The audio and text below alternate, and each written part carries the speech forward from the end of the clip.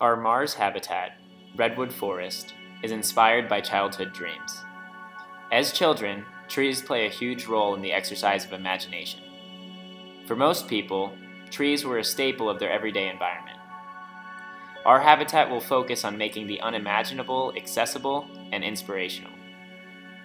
Amidst the unfamiliar Marscape, our residents can find solace in the comfort and familiarity of trees and of the water that is their life force. Our city is located in an unusual circular depression where we will create a bright, green, and water-rich habitat to nurture 10,000 people. Mimicking the structure of trees, our habitat will exist both above and below ground. Within the root network, residents will have their private spaces protected from the harsh radiation and thermal environment. The root network will house most of the machines that process, store, and distribute resources vital to everyday life. The public spaces will exist above ground, in enclosed spaces which filter daylight down to the root network. The main network of transportation will be an underground thoroughfare modeled after rhizomes present in various plant species. Internal, vertical transportation will connect the underground private spaces to the above ground common areas.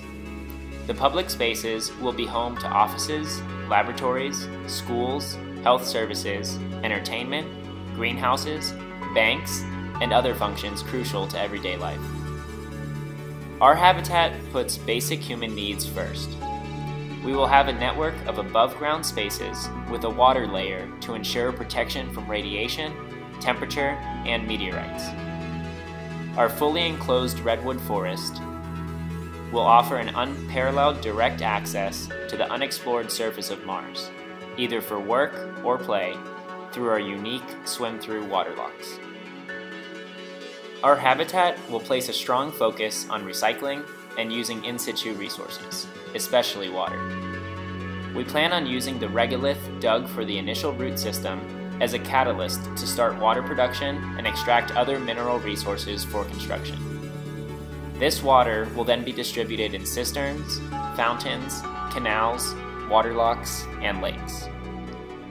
Our construction will begin in the pit of the depression, and we will tunnel to create the initial root and tree system with the ability to expand further. Once the initial site is constructed, the bottom of the depression will become the main access point to our habitat.